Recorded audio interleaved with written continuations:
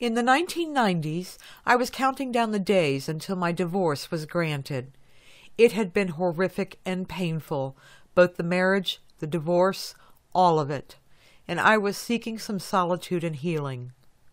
I was living with my mother and stepfather, which is where I had retreated to when I left my husband.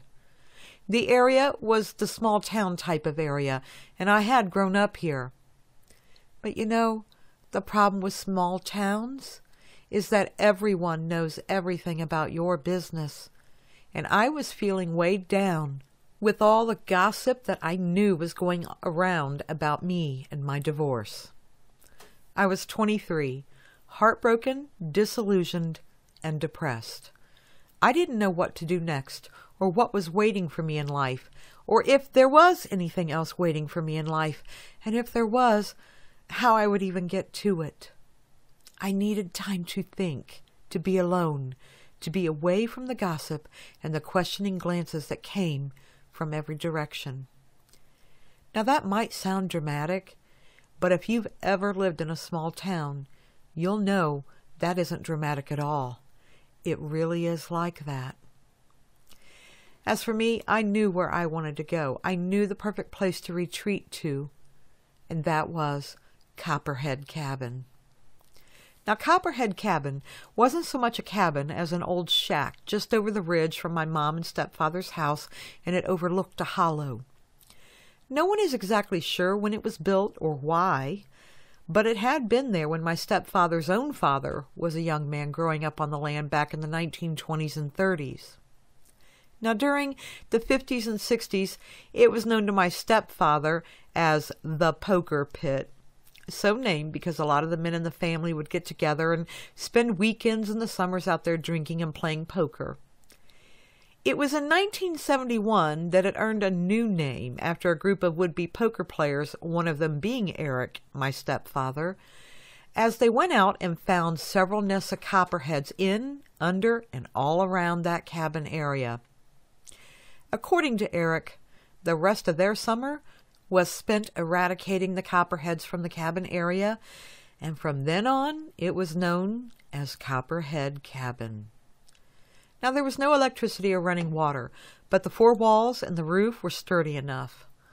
What it lacked in aesthetics, it more than made up for with the quiet seclusion and a beautiful view of the hollow stretching out below.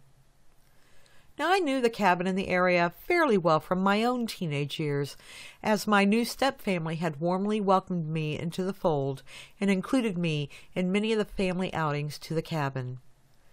I thought it was amusing back then that no one seemed to know whose land the cabin was on. It was just family land. The original acreage purchased back in the 1870s had been split so many times through different inheritances that no one seemed to know exactly where the property lines were anymore, and more importantly, no one cared. Everyone in the family shared Copperhead Cabin, but Eric did tell me that no one had been out there to stay in several years.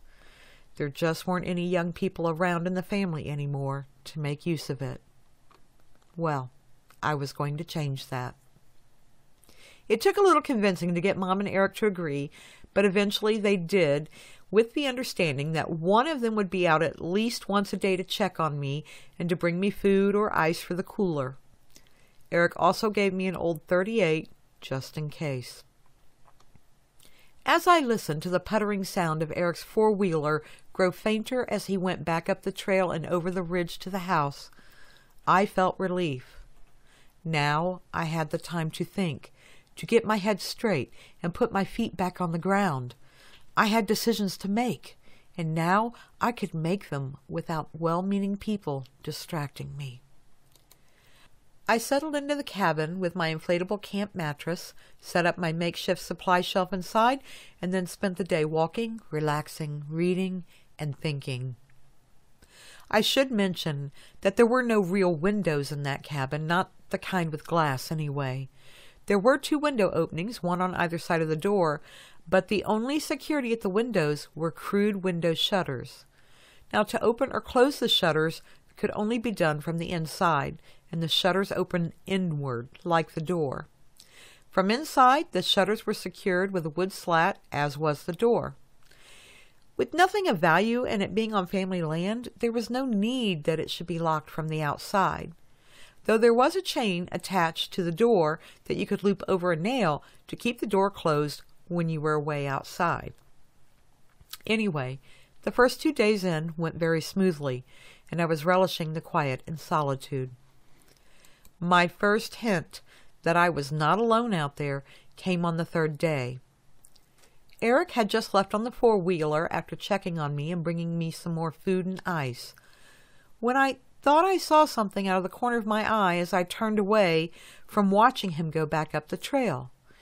Something flashed dark across the trail. I turned back quickly to do a double take, but I saw nothing. I watched the trail area for a second more and then told myself it was probably just a deer that had been startled by the sound of the four wheeler passing, and I let it go from my mind. It was late that night when a scraping noise caught my attention. I was lying on the air mattress, propped up in the corner, reading a book by the light of a Coleman lantern when I heard it. I laid my book down on my lap and listened. It sounded as if a tree branch was brushing the side of the cabin opposite from where I lay. But there were no trees that close to the cabin, I knew. I waited a moment more and heard nothing else, so I went back to my reading. A few minutes later, I heard the sound again. This time the scraping noise was on the front wall of the cabin, and I saw the front door bounce very lightly as if something had pushed in on it followed by more scraping noises and tiny thuds here and there. Thinking it was some forest animal just checking out the new scents around my cabin, namely me, and maybe brushing up against the cabin to rescent it, I yelled out, Hey, knock it off out there! The scraping noise stopped. Now, I wasn't so concerned that I needed to get the 38 out of my pack that Eric had given me and step outside and check out what was going on. As I said, I had stayed out here before as a teenager, and I was very aware that a lot of critters came close to the cabin at night. In the morning, I unlatched the shutters at the first window and was surprised to discover the window partially obscured with pine branches from the outside. I pushed the branches away from the window and surveyed the front area of the cabin. I looked sideways down the front of the cabin to see multiple large tree branches leaned and stacked up against the front wall, effectively covering the door and the other window. The thought that someone had been at the cabin during the night raised the hackles on the back of my neck, and I slowly backed away from the open window. Were they still out there? Were they waiting to ambush me? I got the 38 out of my pack and approached the window again. No one was in sight. Cautiously, I opened the door and knocked the remaining branches out of the way. Again, I surveyed the area carefully, saw nothing, and then stepped outside. I then cautiously walked around the perimeter of the cabin and saw several more branches were leaned up against the walls. Well, somebody was busy last night, I thought. Now, at this point, I wasn't scared so much as I was getting mad at the idea that someone thought they could come out here and mess with me. But who? Who would bother? To even get to this cabin, you either had to trespass on Eric's land, his brother's land, or two other family members' land. They all joined back here at the back hollow. And for the record, no one had trespassed successfully on that land as long as I could ever remember. You were more likely to get shot than not around there. Angrily, I collected all the limbs leaned up against the cabin into a pile away from the cabin. It was later that morning, as I was toasting a couple slices of bread over the small fire in the fire ring, that I had the hair raising sensation of being watched. I stood up and looked around in a circle, but saw nothing. The odd feeling stayed with me throughout the day, but I just put it down to being a little spooked, and I reminded myself that I came out here to get myself together, not fall apart over some prank with tree branches and so I continued on with my day. but with the 38 on my hip at all times. I wanted that visible. I wanted someone to know if they were watching me that I was not unarmed. Later, when I heard the four wheeler coming over the ridge that afternoon, I quickly debated with myself about whether or not to tell Eric what had happened during the night, and I decided against it. I knew he would insist on me returning home right then, and there was an obstinate part of me that did not want to be told what I was and was not going to do. I had had enough of that with my husband. So, Eric came and went, but never did I mention anything about the visitor in the night. Once, later in the day, closer to the sun going down, I thought I heard someone whistling. I stopped to listen. I heard one more whistle, and then heard no more. When night fell, I pushed the fire into the pit down to just glowing coals, went inside the cabin, and made sure the shutters and the door were firmly secured. I lay on the inflatable mattress again, trying to read, but I was constantly distracted by every breeze I heard rustle the trees. And somewhere around 3:30 a.m., according to my little watch, I first began to regret my determination to stay out here alone. It started again. It was that scraping noise along the back wall this time. Only it wasn't a sharp scraping noise like the night before. It was more of a sliding noise, and it brought to mind the vision of an animal rubbing itself against the wood outside the cabin. I smacked my hand hard against the wall, hoping that whatever animal it was would be startled and leave. But to my surprise, something slapped back against the cabin, hard. I could feel the vibration of the slap through the inflatable mattress. Quickly came three more slaps, one on each side of the corner of the cabin, as if someone were standing on the corner and hitting the back wall with the left arm and the side wall with their right arm all at the same time in quick succession. I scrambled backwards off the mattress, turned the lantern light up higher, and held the 38 in a defensive position. That was no animal out there, I was sure. The slapping stopped, and then the pushing started. Whatever it was, it seemed to be pushing on the walls outside. The wood in that corner began to creak loudly. I yelled out, Stop it! I have a gun! The creaking stopped. A very long minute passed in absolute silence when I felt the wall that I was backed up against begin to shake with the force of several quick slaps, followed by more silence. Whoever or whatever it was, it was circling the cabin, slapping several times, first one wall, then a little silence, and then it would slap the next wall. The shutters shook lightly as whatever it was moved along the front of the cabin, slapping the wall. Then again, there was nothing. For the next several hours, I sat in the middle of the floor, silent, looking at my watch constantly, calculating how long until there would be full light outside. The last of the slaps on the cabin came close to 5 a.m., and I cannot tell you my relief, but at the same time the fear I felt in the silence. Those were very, very long hours until dawn, and I have to tell you that I probably did the most intense thinking and deep reflection during those hours until sunrise as I had done the entire time I had been out there, and perhaps more than I had ever done in my entire life. When I could see clearly the light from the cracks around the wood shutters, I stood up and to the far side and removed the bar of wood. I waited with the gun pointed at the window.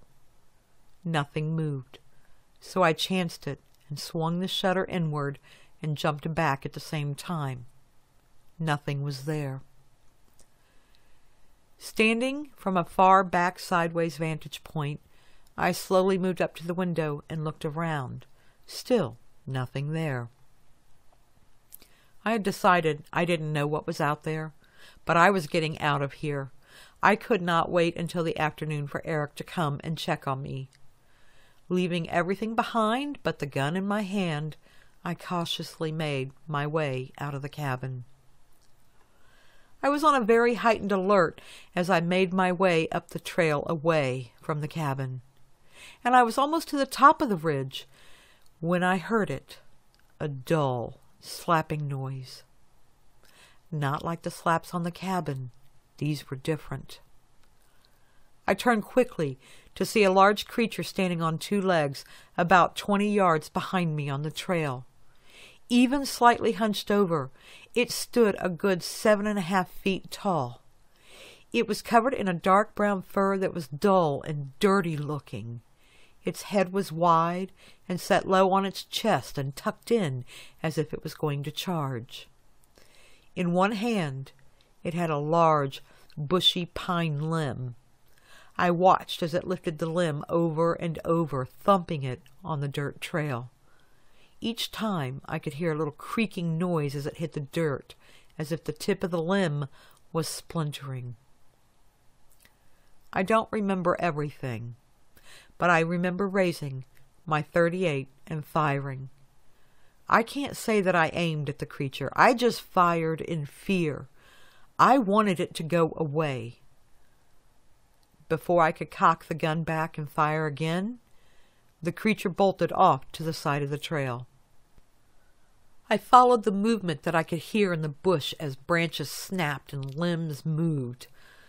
I kept the 38 raised and followed the line of direction through the trees, even though I could no longer see the creature. I kept it raised and pointed in its direction until the sound faded completely away. I then turned back to the trail and started up over the ridge as fast as my legs would carry me. I was part way down, and every now and then was catching a glimpse of my mom's house down the ridge through the trees as I ran, when I heard the distinctive puttering of the four wheeler coming closer up the trail. It was Eric. He and Mom had heard the gunshot, and he had taken off like lightning out on the four wheeler to come check on me. I was so relieved when I saw him. I didn't have the breath to tell him anything. I just frantically made a circling motion with my hand to tell him to turn around as I climbed on behind him. I kept glancing behind us the whole way as we went down to the house. I expected that creature to come crashing through the trees, running after me. I don't know if I hit it with the gun when I fired or not. Maybe it was injured. Maybe it was even angrier. I didn't know, and I didn't really want to find out. Now, later, Eric and several of his male relatives were hell bent on hunting down whoever or whatever I had shot at that morning. And for the next week, there were at least two of them at any given time combing that ridge and the hollow. They found the tree branch on the trail where the creature had dropped it when I fired the gun and they found game trails that had been established fairly recently that they had never seen. They also saw markings on the cabin and the pile of pine limbs that I had gathered from everything that had been stacked around the cabin. But what they never found was a definitive sign of the creature.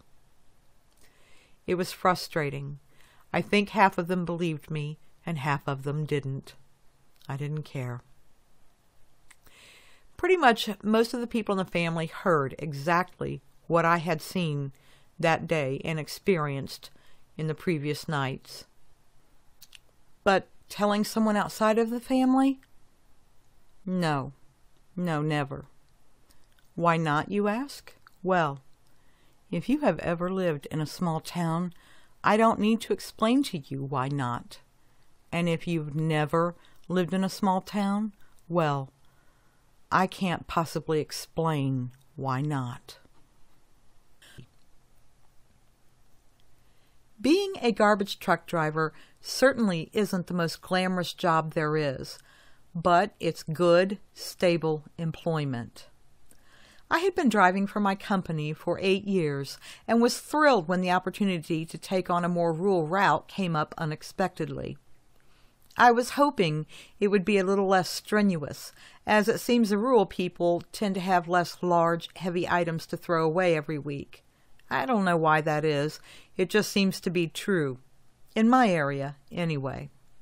Plus, it would be nice not to be fighting traffic, people yelling that I'm blocking them, and all the other fun things that come with suburban trash pickup.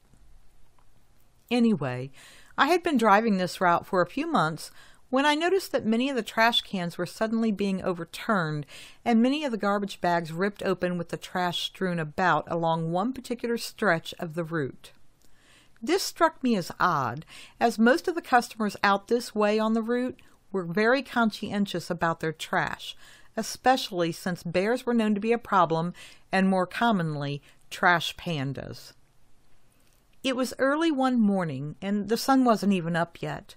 I got out of the truck to get the cans at the end of a driveway when I was alerted that perhaps it was something a little bigger that was wreaking havoc along that stretch of my route.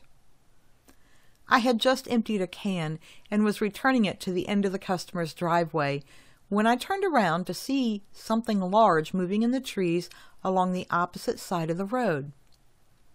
Now, it was still pretty dark in the pre dawn light, but I could see that something was definitely moving over there. Now, I typically carry a small flashlight on my belt loop, as it helps in the dark to check things setting beside cans before I pick them up. I can't tell you the times I've picked up a box or a bag only to be bitten badly by old carpet tack strips or the like that I couldn't see in the semi darkness. Anyway, I unclipped the flashlight and scanned it along the trees, but whatever it was, it was staying just far enough back in the darkness that I couldn't see it. I thought maybe it was a black bear, maybe standing up on its back legs or something, and it might be easily provoked so I chose to walk down the passenger side of the truck and got in the truck from there. Once I had climbed over to the driver's seat, I scanned the opposite side of the road with my flashlight again, but again I saw nothing. Now, I didn't have anything else happen until the next week. It started at the stop two driveways down from where the incident happened the previous week. I was waiting for the can lift to finish emptying the can when I heard something moving in the trees that lined the opposite side of the road. Again, I got my flashlight out and started scanning. Nothing there. It could have been a stray dog moving in the brush for all I knew, I thought. So I put the small flashlight in my back pocket to keep it handy and went on about my business.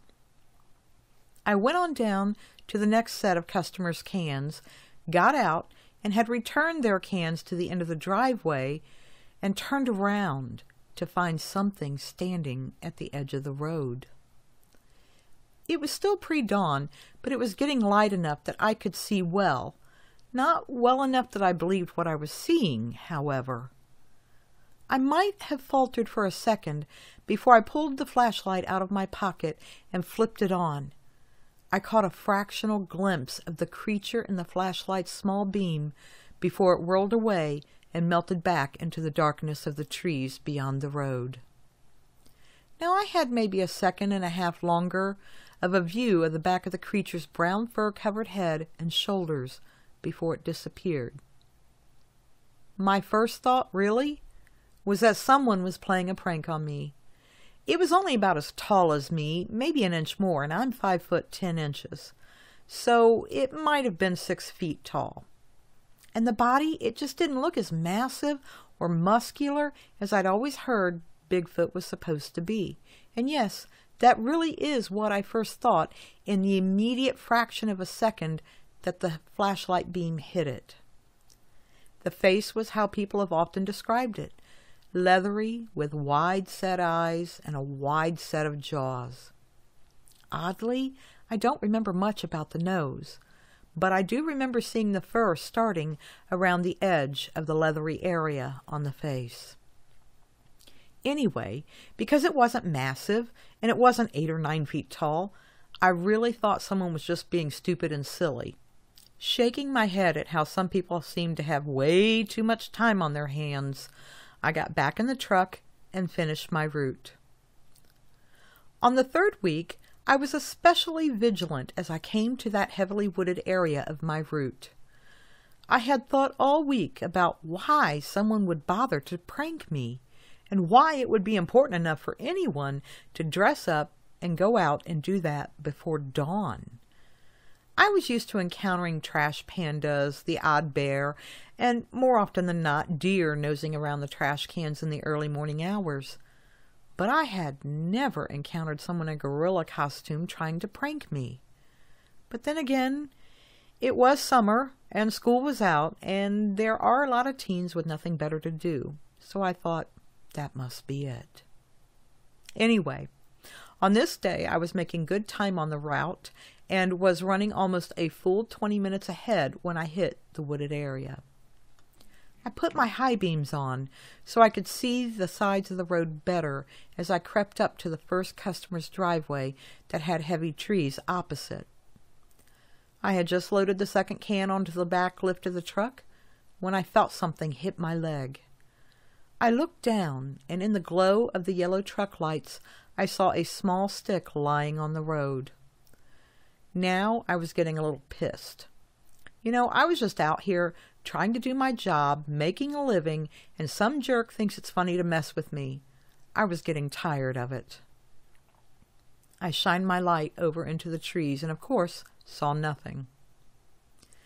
As the can was being lifted and dumped into the truck, I yelled out and called them a very not nice name and gave them a universal hand gesture, and I made sure that the tree line could see me well. I then replaced the empty cans at the end of the driveway and walked slowly and deliberately to the driver's side of the truck, climbed inside, and closed the door.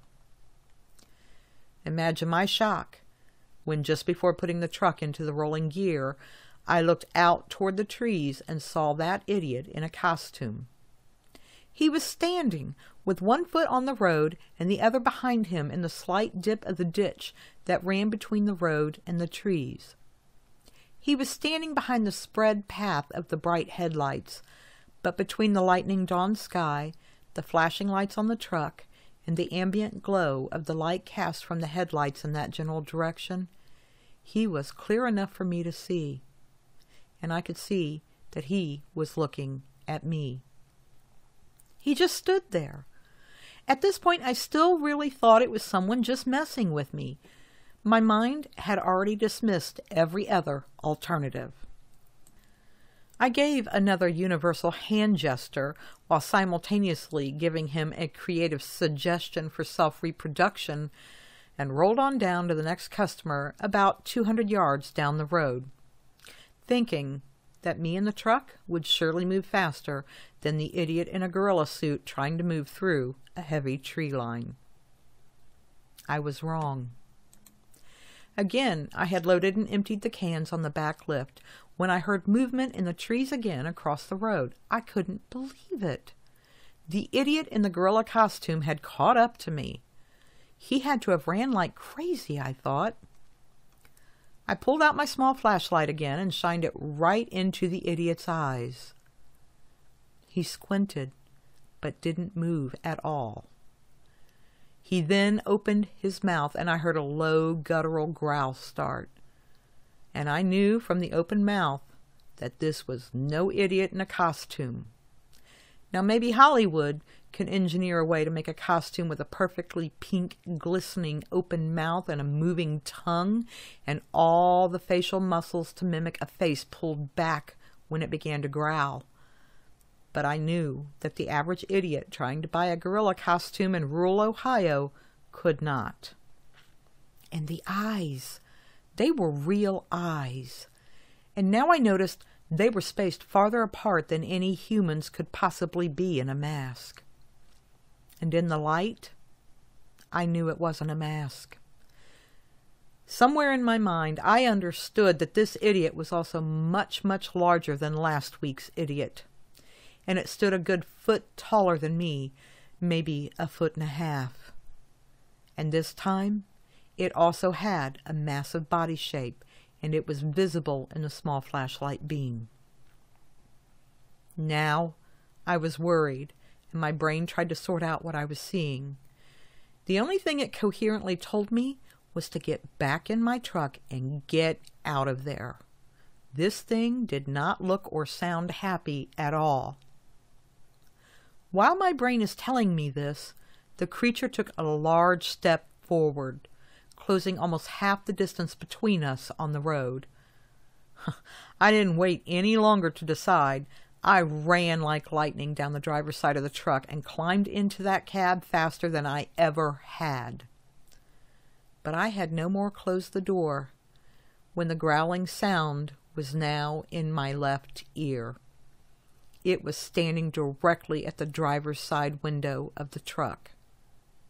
Panicked, I threw the truck into gear and started rolling. But if you've ever driven a big garbage truck, you'll know they aren't made for jackrabbit takeoffs from a dead stop. They start rolling slowly and then pick up the speed. Suddenly, I felt the entire truck rock heavily to the right, something I had never felt even while making pickups in heavy storms and 60 mile per hour winds. I looked into my side mirror to see the creature pushing on the side of the truck. Behind it, further back on the road, I saw the shorter creature standing, the glow of the flashing yellow truck lights illuminating it. But my real concern at that moment was the big one pushing on the truck. It was now trotting alongside the truck, keeping pace even as the truck picked up speed. And with every other step, it would give a mighty heaving push that would rock the truck harder with each push, as if it was gaining momentum in the push as we both sped up. So the faster I went, the harder it pushed on the truck. I had two thoughts simultaneously. First, that the creature might actually tip my truck, and secondly, that all doubt about an idiot in a gorilla costume was now gone. No human could possibly push against a half full garbage truck and make it lean like it was. I gave the truck everything I had and got it rolling at a good pace. And it was with a sigh of relief as I watched in the side mirror when the creature jogged to a halt and my truck stopped rocking. And let me say, once I got moving, I did not stop that truck. I drove right past the remaining customers along that route. In fact, I didn't stop until I'd made it back to the truck yard.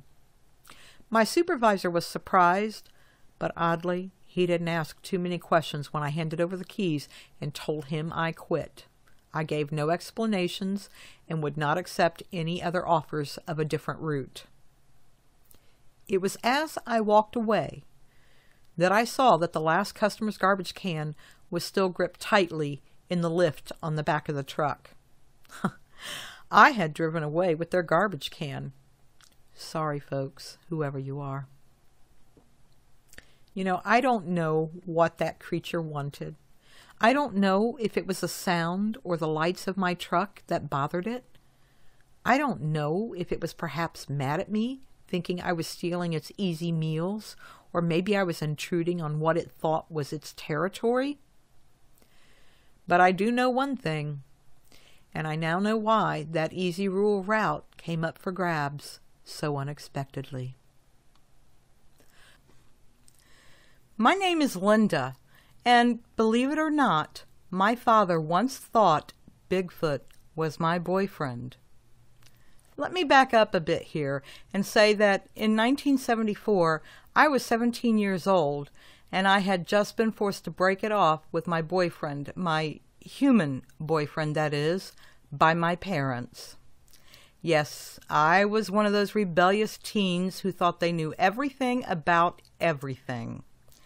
Lots of battles raged in that old farmhouse that year, but now that I'm a little older and wiser, I know that's pretty normal when you're raising a teenager. But what you really want to hear about is how Bigfoot became to be my boyfriend. Well, he wasn't really, but my dad sure thought he was for a while. Let me explain. You see, earlier that spring, my dad had caught my boyfriend trying to sneak into my second floor bedroom window. Rodney, my boyfriend, my human boyfriend, hadn't even made it entirely through the window when my bedroom light was flipped on and my angry dad was in the room. Suffice it to say, that was not a pleasant experience for anyone. Truth be told, it was a pretty foolish thing to even attempt. My bedroom was on one back corner of the house, and my parents' bedroom was on the other back corner. There was just a bathroom between the two rooms, and I knew well enough that the sound of anything, especially something like raising the old wooden double hung window and the scraping of raising the metal screen, I should have known how well that sound traveled down the back wall of the house. Hadn't I heard it a thousand times over the summer? And as for Rodney, well, Look, he, he just wasn't the stealthiest boyfriend around, and he did make plenty of unintentional noise just getting to my window. So it was no surprise, really, looking back, that my smart old dad knew exactly what was going on. Anyway, we got caught, and for the next several months I was under house arrest and pretty much in the dog house with my parents. And again, looking back, I don't blame them one bit. Now, when summer rolled around, I was still being required to perform many acts of penitence, mostly in the form of helping my mother harvest and can much of the produce from our personal garden. And believe me, if you've ever spent a day canning over a hot stove in a house with no air conditioning while the temperature soared near to a hundred outside, and you had to tell your friends on the phone that no, you could not go swimming with them that day or any day that summer, you'll know exactly how severe that punishment was to me at 17 years old. So the miserable summer months rolled by in hot, horrifying monotony, full of gardening and canning, when something began to happen in August. Our habit was to go out early in the day to harvest whatever was ready from the garden, and then we would separate the vegetables on the back porch. Now, if we didn't get to canning all of the harvested items that day, we just left them in a cart by the back porch since it was shaded by noontime anyway.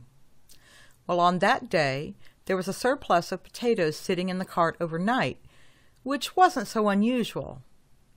What was unusual was my father bursting into my bedroom and flipping on the light in the middle of the night, just as he had the night Rodney had tried to sneak in but he hadn't done that in months. So I was pretty confused and surprised when he accused me of trying to sneak another boy in. Well, of course I hadn't been, and he could see that I hadn't been. Well, somebody is down there walking all around the house, he said accusingly. My mother stood behind him, silent. Again I protested my innocence and suddenly the truth of it somehow reached my father's brain, and we all had the same thought at roughly the same time. If it really wasn't a boy I knew walking around the house looking for a way in, that meant someone unknown was walking around the house looking for a way in. I watched as that realization hit my father and saw his face visibly change. Stay here, he said to me and my mother. Mom and I sat together on my bed and we listened as Dad got his shotgun and cautiously made the rounds downstairs, checking the bottom floor. Even though we had no air conditioning in the house, we always closed and locked the downstairs windows at night, regardless of how hot it was. We had seen the movie in cold blood. We knew it wasn't safe anywhere now, not even in rural America. Dad sat up the rest of the night in the kitchen just to be sure they weren't coming back, whoever it was. In the morning, Mom and I went out after breakfast to start on the garden while Dad napped in the living room. This is when we knew someone or something had definitely been at the house during the night. Just off the side of the back porch, Potatoes lay scattered and the pull cart overturned. A good portion of the potatoes were missing or smashed. We could also see a clear path through the soybean field. It looked as if a small herd of cattle had trampled a diagonal path from the house to the trees in the distant edge of the fields. The broken and smashed plants visibly marked their path. But the biggest puzzle for us was why someone would come all the way out here to steal some potatoes. Now, we weren't close to anything or anyone. Besides, they could have taken vegetables from the garden that stood away from the house without the risk of being so close to the house and possibly being caught. It just seemed odd, but you can never tell with people, can you? Again and again, my dad told me over the next few days that if he caught a boy trying to sneak into my room, that boy was going to get a backside full of rock salt from his shotgun. And again and again, I protested my innocence and ignorance of whoever it was that kept coming around the house at night. But it was Labor Day weekend when we got our first look at who, or rather what, was coming around the house.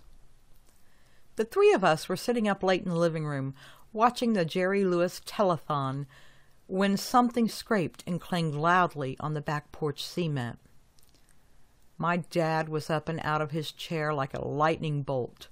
He grabbed his shotgun by the front door and headed into the kitchen, then flipped on the back porch light and opened the back door. He stepped out. Less than a second later, we heard him yelling.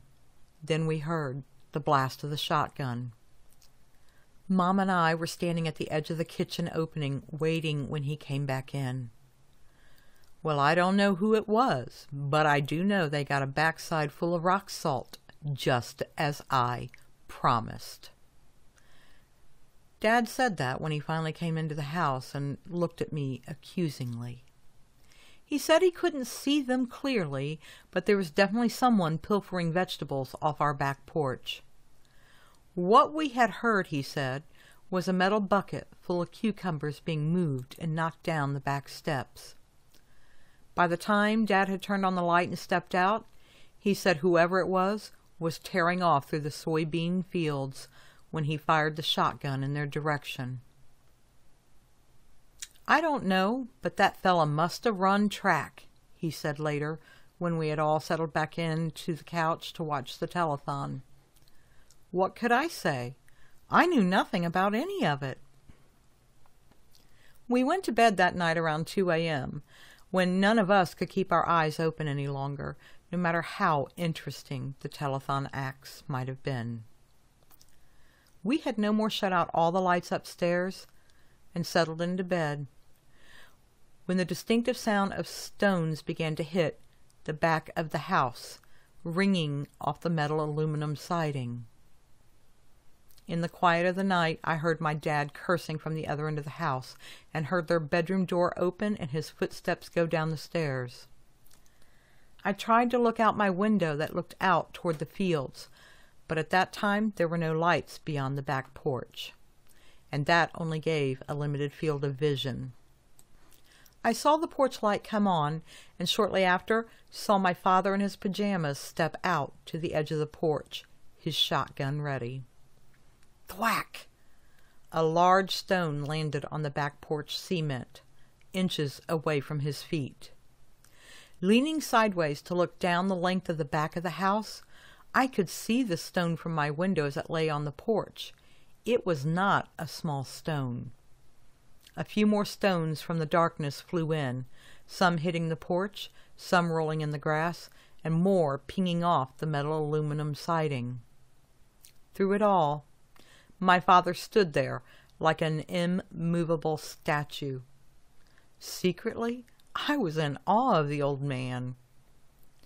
With my attention focused on my dad, I almost missed the movement under my window. I looked down and was surprised to find a dark shape directly below my window, standing very near the house, unmoving. It was a shade darker than the night around it, and the faint glow of the faraway porch light barely touched it. but it touched it just enough that I could see something was standing there. I was startled at how close it seemed to be to my window. I knew there was no bush or anything under my window, as the dining room window itself was directly under mine. But it didn't seem like a person either.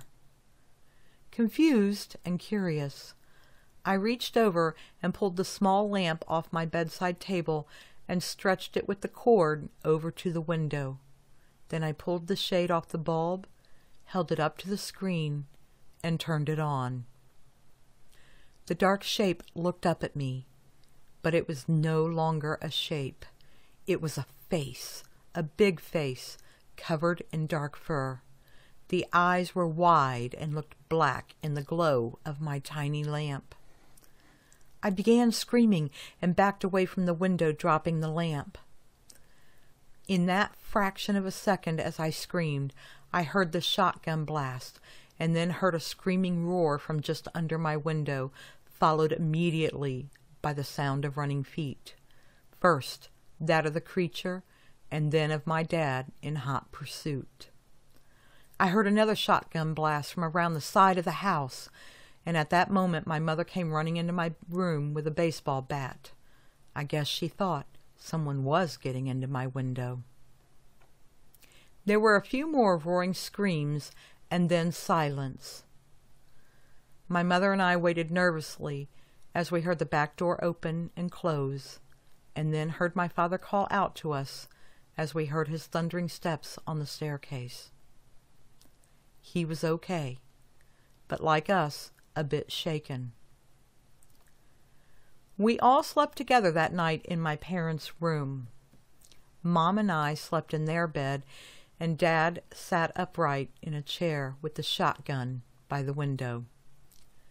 He didn't really want to talk about what he had seen out there, but me, I was a blabbermouth 17 year old, and I told them both what I had seen under my window. I know my dad believed me because, unlike my mother, he never once questioned me and he didn't try to explain away what I had seen. He had seen it too. We stayed vigilant over the next few weeks, and in time life returned mostly to normal, and it seemed that the creature had left us for good. But it was in late September that I would encounter the creature again this time alone. Being in high school, I had to walk out to the road to wait for the school bus a little before 6 a.m., when it's more of a blue dark than the light dawn sky of the previous month of August. Directly across from our driveway, our neighbors had several acres of feed corn still drying. Now, for those of you who aren't familiar with farming practices, those are the corn stalks that you see that get left into the field until they're brown until late fall. That is feed corn. Anyway, there I was, kicking the driveway gravel, just waiting for the school bus, when I heard something moving through the dry corn stalks across the road. I wasn't alarmed at first, as deer tend to spend a lot of time in the feed corn, and I had seen them many mornings weaving about in the corn stalks. But then the sound of movement got closer, and it sounded larger than deer. So I began looking across the road with both interest and a little sense of wariness.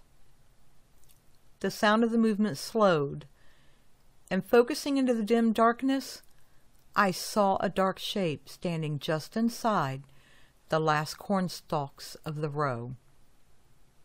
I suddenly felt like a rabbit in the middle of a flat field with a predator staring at me, with nowhere to run to or hide, and so I did what rabbits often do. I froze. The dark shape didn't move either. Suddenly, something landed on the road in front of me. I looked down and saw it was a dried ear of feed corn.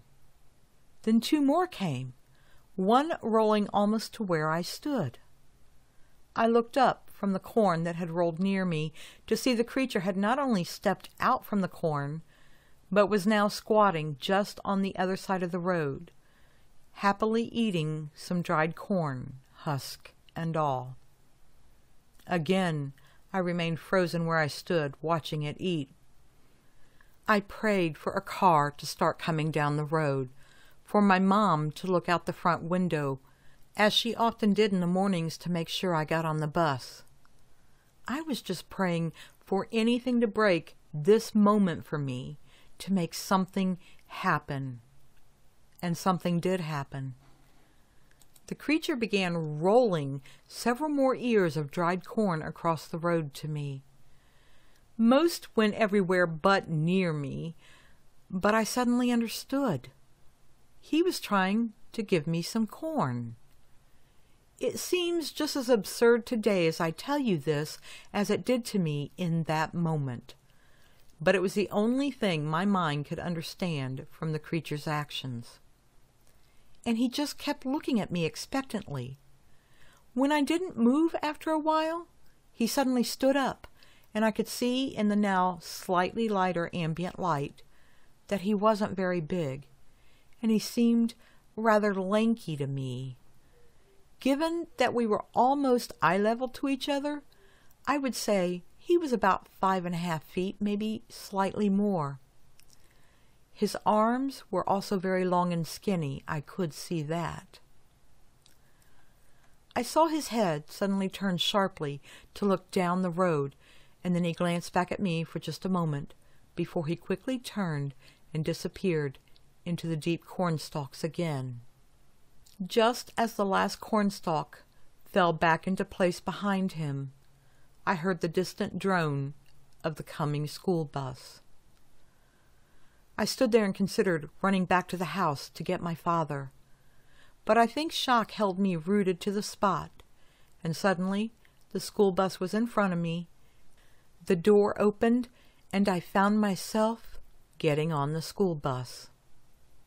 Now my heart was still beating furiously, but I took the first seat that I found as quickly as I could and looked out over the corn as we began to drive away. I saw what I counted to be four dark shapes in the corn that morning. Some were larger than others. There might have been more, but we moved away before I could keep counting. And if I hadn't known to look for them out there, I wouldn't have seen them because no one else on the bus did either. Now, I remember little of school that day, but I do remember getting home and telling my parents everything. Immediately, of course, my father went out and looked and found plenty of evidence to support everything I had told him. From that point forward, never again did I wait at the bus stop alone in the mornings. But soon time moved on, and the feed corn across the road was harvested. The winter passed without incident, and I graduated the next June. And before the start of the next autumn, I was attending Ohio University in Athens. Many times over the years, me and my dad talked about what we had seen and about the creature or creatures in general. We agreed there were multiple creatures we both agreed too that they were probably just hungry, and my dad expressed plenty of remorse about shooting at the large one that night, especially because he's certain he got it good when it was on the side of the house. But he also didn't feel that he had a lot of choice that night. We also both agreed that hungry creatures or not, we didn't want them around the house. But we don't agree on what happened that morning that I was waiting for the school bus. Dad thinks the creature was throwing the corn at me the way they had thrown rocks at the house. But I've never thought that. Skinny looking though it was, I felt certain that if it had wanted to hit me with the corn, it would have. Or it could have used the rock. But it didn't. Years went by, and my dad was certain that there was evidence that at least one of the creatures had been near the house again a few different times. But never again did Dad chase one after a shotgun, and never again were rocks thrown at the house.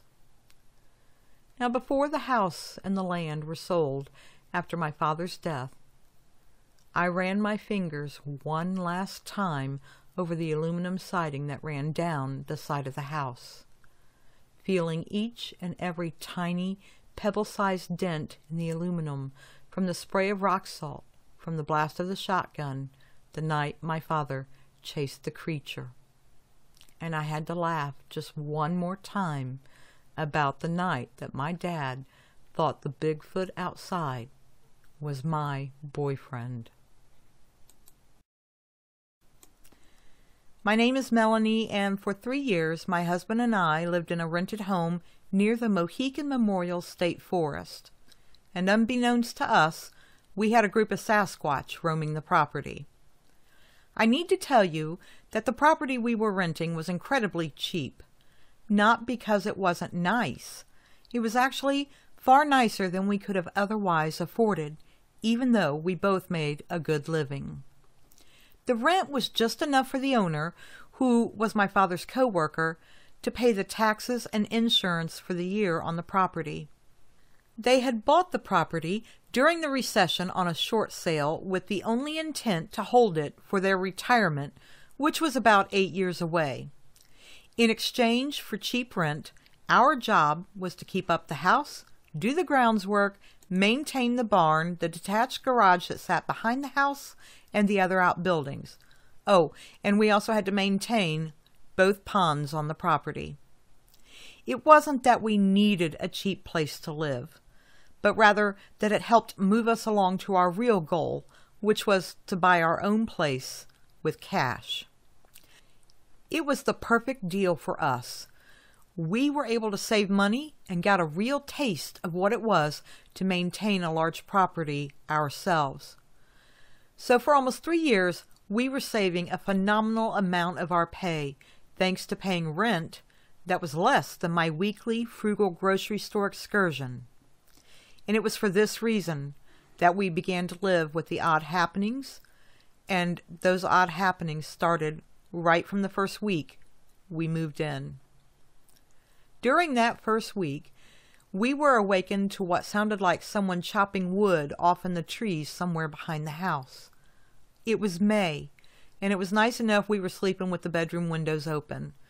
Now, our bedroom window faced the back wooded area, so the sound traveled in loud and clear. Despite my protestations, my husband decided to go out and investigate.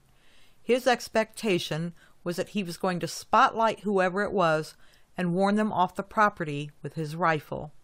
He wanted to let them know there were now people here to guard the land. But that's not how it went. When he returned back to the house, he told me he never saw anyone, but someone had thrown several large limbs at him. And he said one limb was close enough to being the size of a young tree itself and was bigger than his forearm. He said that one had come from behind and actually knocked him down. The next morning I could see a large diagonal bruise forming across his back where it had hit him with a lot of force. He also said that a lot of the limbs were coming from different directions, which meant there had to be several of them out there, whoever they were. But oddly, when we went out that afternoon to investigate, we never found any trees that had been freshly cut down. From then on, throughout the rest of the summer, we would hear the wood chopping sounds frequently. Sometimes we also heard odd owl sounds and sometimes some whistles but despite searching, we never found anyone on the property. We got to know a few of the nearby neighbors down that rural road, and we put the word out that there was someone living here now, hoping that that would stop whoever thought they could trespass on the land at night. But it didn't do any good. The wood chopping sound and the hooting at night continued all throughout the summer that first year. It was in the second year that we got a look at who, or rather what, our trespasser was. At the time, I was working second shift and my husband was working first shift. Again, with the goal of making and saving money for our own place the foremost thing in my mind, I didn't hesitate when the third shift person didn't show up for work and they offered me four hours of overtime to compensate. Of course, this meant I'd be getting off work around 3 a.m. The half hour drive home was pretty uneventful, and I remember I was pretty tired as I turned my car onto the gravel driveway of the house. But I came instantly awake as the sweeping motion of the headlights as I turned in caught something standing in the front yard, near the front steps of the house. I could see it was tall and it looked like it was covered with a dark fur that had a glossy look to it in the headlights as they swept over it. Whatever it was, it had its back to me as I turned in, and I think it was beginning to turn to look at me as I completed the turn and the headlights moved away from it. I just wasn't fast enough to slam on the brakes mid turn. But I know what I had seen standing there. I put my high beams on, trying to see the creature again, but it was no longer standing where it had been. Now, I didn't want to drive on back to the detached garage because that meant I would have to walk in semi darkness into the mudroom entrance on the back of the house.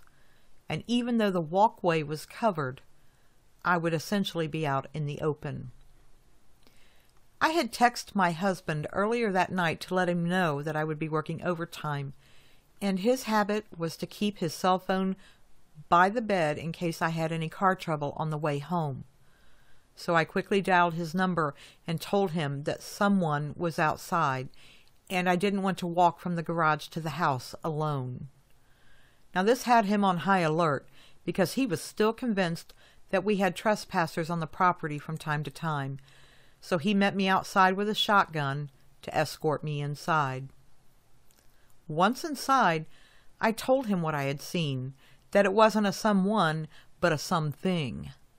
And although I was clear and told him it was not a person, he was absolutely convinced that it was just someone dressed in dark clothing and they were looking to break in. Now, he felt doubly sure about this because as he went around to check that everything was locked up tight in the house, he found that he had forgotten to close one of the lower level windows in the downstairs family room, which was on the front side of the split level house, before going to bed that evening. And that was roughly where I told him I had seen someone standing. Now, because of that, I could not convince him otherwise that it was not a person I had seen standing there. But in time, he would find out for himself. It was a few weeks later and he was home alone while I was working that evening. We were now into the miserable hot days of July, and he had just finished mowing a portion of the front of the property, leaving the other portion until the next day, as he said it was getting too dark to see, even with the headlight on the mower. He had just put the mower up in one of the storage buildings, closed the door, and put the padlock on it, and was beginning to walk toward the house when he said it felt as if a freight train came at him from the side, knocking him to the grass. He said he didn't know whether it was from the initial hit or from hitting the ground, but the air had been knocked from his lungs. That's how hard the hit was. As soon as he hit the ground, he said he immediately rolled onto his back to try to see what had hit him. But all he could detect was someone or something running away, back in the same direction that it had apparently come from to hit him, which was the thin band of trees on that side of the house that separate the house from the first pond on the property. The only other thing he could definitively tell me was that even in the darkness he could clearly see from the movement that whatever it was, it was upright and on two legs. Beyond that, the only thing he ever said about the incident over and over was that he hadn't taken that kind of a hit since he had played high school football. And when he thought about it, he said none of those tackles in high school had ever been nearly as hard. From that point on, we became more diligent and more aware any time we were outside, even during the day. Now, every night, I was calling my husband as I got near the house and he was meeting me at the mudroom door entrance to escort me in. I really felt bad about that because that cut him short on sleep every night of the week, which even one hour short means a lot when you get up every morning at 4:30 a.m. so you're at work and clocked in by 6 a.m. But he never missed a night. Despite being tackled in the darkness by what he liberally dubbed a freight train, he hadn't actually seen it. So he still wasn't fully believing that we had a Sasquatch problem on our hands, which, after doing lots of research and talking to some other people in the area, that's what I had come to know and believe to be the truth. Now, after that tackle, though, the wood chopping noises, the owl hoots, the weird whistles, those which normally decreased during the winter months and only resumed with the spring, well, now they increased in intensity and they were closer than ever to the house. Even after showing him all the facts, all the reports, showing him books, making him listen and watch things on the internet, my husband still wouldn't believe that it was a Sasquatch out there. But all doubt left him, though, late one night when he came home. Now, my husband was paid on a bi weekly schedule, and after work on those paydays, he would do a lot of the heavier shopping in town where he worked before coming home. This saved a lot of trips and a lot of gas.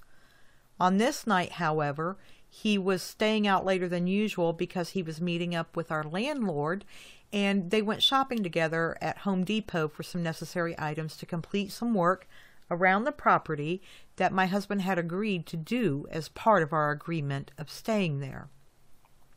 So this put him getting home shortly before me on that Friday night, somewhere between 10:30 p.m. and 11 p.m. He had pulled around to the detached garage, parked, and was heading out of the garage when he stopped dead in his tracks. Over the last several months, we had added additional, stronger lighting around the house and the outside buildings, and all of the lights were now on light sensors, so they automatically came on when it got dark and shut off when it got light again. Thus, he had a clear vision of the creature that was standing between him and the back door. It was large, and for my husband, who was just short of six feet four inches tall, and who spent years playing football and still worked out in the home gym, well, for him to say it was large, it's large. He said it just stood there for a moment.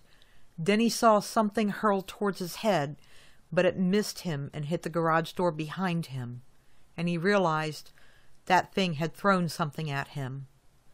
Before he quite recovered from being stunned, he watched in amazement as it casually walked away from him. As I said, he was stunned but by that point all doubt had left his mind. He knew I was right. We definitely had a Sasquatch presence on the property.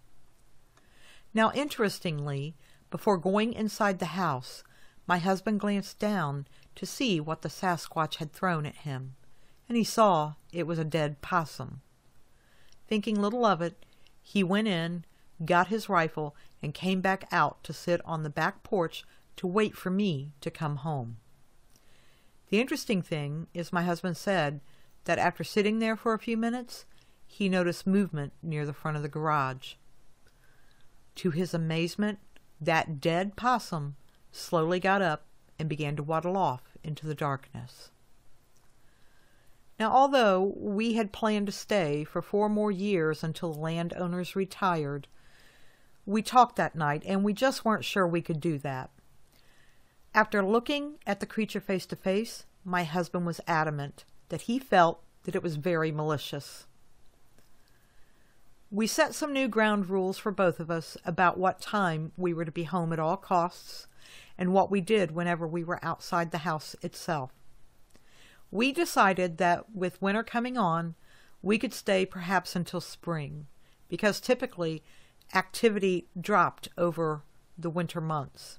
So we thought with bare trees to look through and the lessening of activity through winter months, we would take the next few months to double down, save our money, and start looking for the place of our own, resigning ourselves to having some sort of mortgage after all. And that's what we did. Shortly after the new year, we found a nice little place over in Hardin County and gave notice to the landowners. We moved three years ago back in March, and we have never regretted our decision. And just for the record, we did tell the landowners everything. But it was clear from their reactions that they thought we were giving them some cockamamie story as to why we were leaving. Well, I reckon they'll find out when they retire, won't they? Oh, and about that little place we found? The house isn't near as big and not nearly as new, and there isn't as much land, and nor does it have the extra buildings or any ponds. But it's nice and flat, and best of all, not a wooded area in sight.